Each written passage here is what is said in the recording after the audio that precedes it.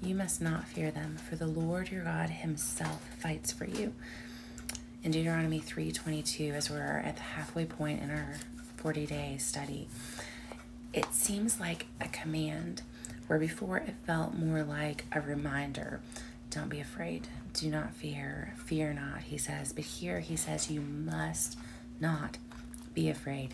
It's also one of the first times we see a because tied to a promise that is also very imperative.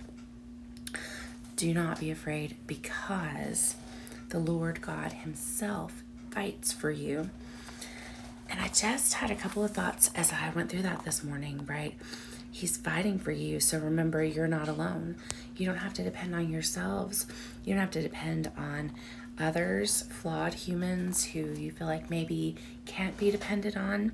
You don't have to wonder if it's going to be fought. You don't have to earn this defense, this protection. You don't have to pay it back. You could never. God is fighting for you. Why is He fighting for you? Because He said He would fight for you, and He is faithful. Oh, how we need to remember His faithfulness because His name is going to be made great. In this case, it's going to be made fearsome name among all the peoples who Israel are about to go and fight. He is setting that up beforehand, has been since before they even understood what was going on.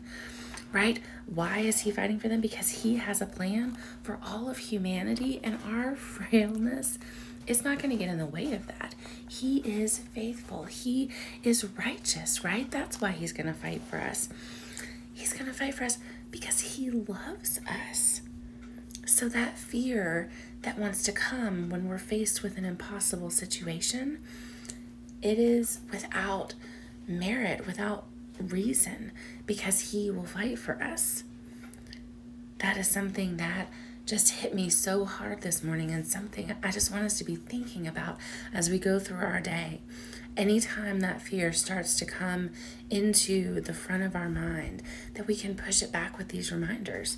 I don't have to be afraid. In fact, I am told not to be afraid because the Lord God Himself is fighting for me because He is faithful, because He loves me, because He is great. He is my protector. He is my defender. And let those thoughts just go over and over and over and take the place of the fear of whatever it is that's coming at you today.